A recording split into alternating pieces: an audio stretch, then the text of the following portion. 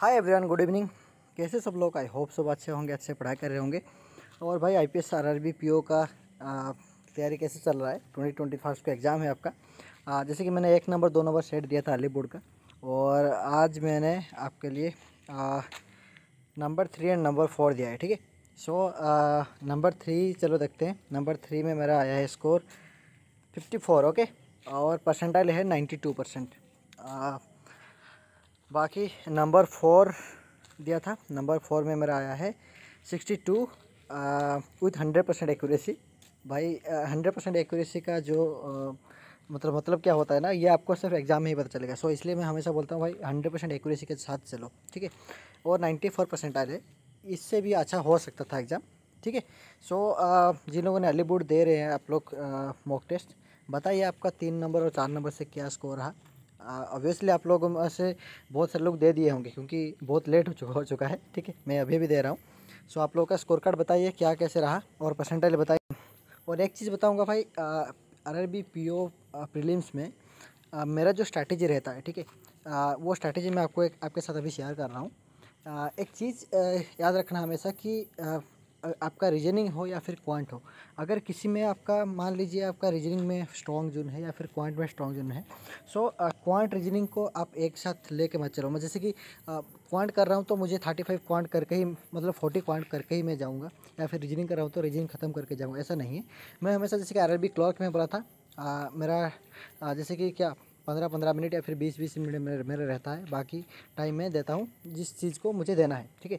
सो इसी तरह मैंने आर आर में ना अरे पी में क्या करता हूँ कि ट्वेंटी मिनट्स या फिर एटीन मिनट्स। सो कुल मिला के थर्टी एट से फोर्टी मिनट में देता हूँ सेशनल करके मतलब अगर मैं रीजनिंग पहले पकड़ा या फिर पॉइंट पहले पकड़ा, ऐसा करके देता हूँ।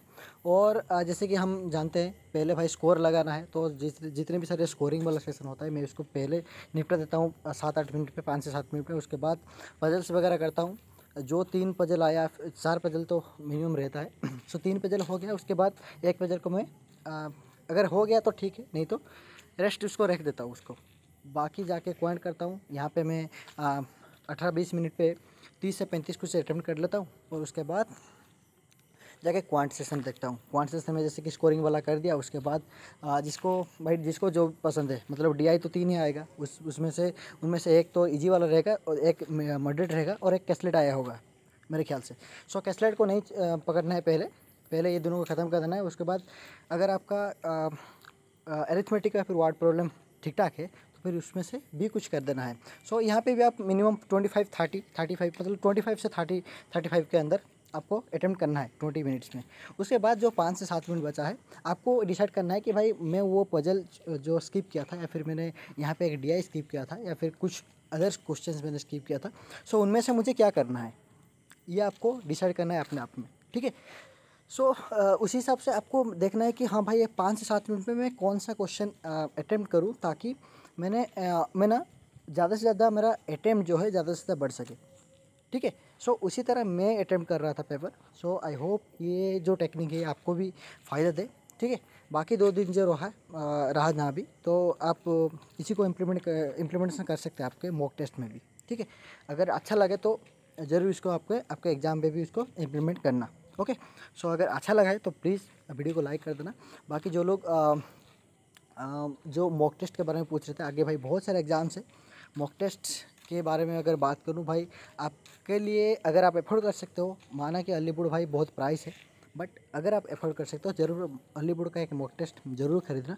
और आ, मैं नहीं बोल रहा हूँ कि भाई अलीपुर का सिर्फ़ एक लेना है। आपको मिनिमम दो मॉक टेस्ट रखना है मेरे पास मतलब आपके पास जैसे कि मैं रखता था। अलीपुर मेरा फ़र्स्ट प्रेफरेंस रहता था। उसके बाद कोई सस्ता वाला है, ठीक है? जो भी आप ले सकते हो आर्डर ले सकते हो प्रैक्टिस में लग सकते हो, या फिर टेस्ट बुक ले सकते हो, कोई भी, ठीक है? बाकी अलीपुर ज़रूर परचेज करने के लिए कोशिश करना। अगर आप एफोर्ड कर सकते हो तो। अगर ज़्यादा डिस्काउंट चाहिए तो मेरा कोड भी इस्तेमाल कर देना। टेन परसेंट एक्स्ट्रा भी डिस्काउंट मिल जाएगा। कोड है बी एम टेन ठीक है? Branch manager B M ten okay तो आपको टेन परसेंट एक्स्ट्रा भी डिस्काउंट मिल जाएगा।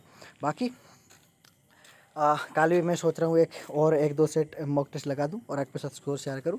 अपना अपना स्कोर बताइए ज़रूर क्या रहा था आपका स्कोर बस पढ़ते रहिए ऐसे ऐसे तब तक take care tata bye bye